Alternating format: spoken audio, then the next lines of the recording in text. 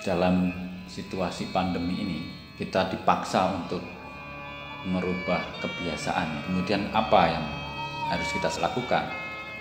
Situasi ini memaksa saya pribadi untuk kemudian berpikir apa ya yang yang terjadi saat ini kok uh, situasinya bisa seperti ini sehingga saya berpikir tentang hal yang sangat mendasar yaitu tentang kehidupan karena banyak kasus dan cerita ketika orang justru menanggapi pandemi atau virus ini berlebihan sehingga terjadi kepanikan yang luar biasa bahkan melakukan hal-hal yang uh, salah kemudian malah berefek fatal menjadi sebuah kematian juga ada suatu ayat menyampaikan bahwa Tuhan menciptakan manusia dari tanah.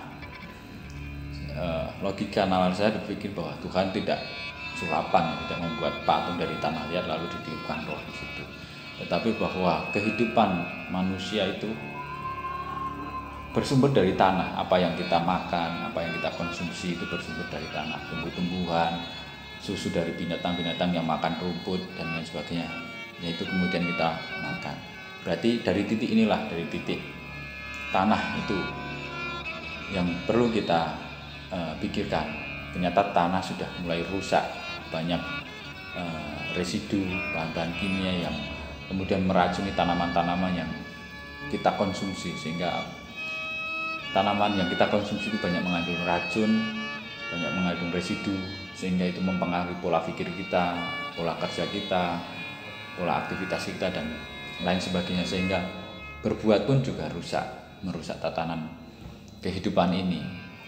Saya mempelajari bahwa tanah harus kita perlakukan dengan baik harus sehat memperlakukan tanaman sehingga apa yang dimakan tanaman itu sehat dan kita akan mengkonsumsi makanan dari tanaman itu pun sehat aktivitas selama pandemi ini aktivitas berdunia ya saya melakukan tanam menanam, mempelajari sifat tanaman, mempelajari tanah dan sebagainya. Kemudian dalam sisi batinnya saya uh, membutuhkan ketenangan juga. Ya, bagaimana itu bisa ter, terpenuhi ketenangan itu? Yaitu bahwa tubuh ini saya ibaratkan sebagai kendaraan yang kemudian ini menginspirasi saya untuk memvisualkan ke dalam bentuk lukisan saya. Di situ ada kendaraan yang saya ibaratkan adalah tubuh saya. Dalam kendaraan itu memproses diri. Saya memproses diri bagaimana saya bisa uh, dekat dengan Tuhan dekat dengan Sang Pencipta. Karena saya sadar bahwa tubuh ini ada masa pakainya. Suatu saat akan rusak seperti kendaraan itu juga. Ketika kita sudah merawat sudah pada suatu ketika akan rusak. Begitu juga dengan jasad tubuh ini akan kembali lagi rusak dan kita akan kembali ke Tuhan. Nah ketenangan batin ini bagaimana bisa bertemu dengan Tuhan dengan, dengan menyatu kembali? Karena dalam satu ayat kan kita ada di Tuhan dan akan kembali ke Tuhan. Di situ pencarian saya saya tuangkan ke, ke dalam karya seni saya kanvas. Di situ ada kendaraan yang melingkar berterbangan ada yang bawa obor itu sendiri. Penyemangat bahwa kita hidup harus semangat.